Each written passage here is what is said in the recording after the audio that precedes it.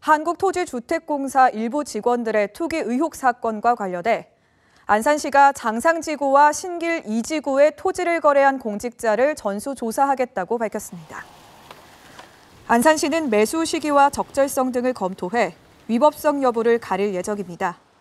윤하섭 안산시장은 전수조사를 통해 위법 사항이 발견될 경우 강력하게 조치하겠다고 말했습니다.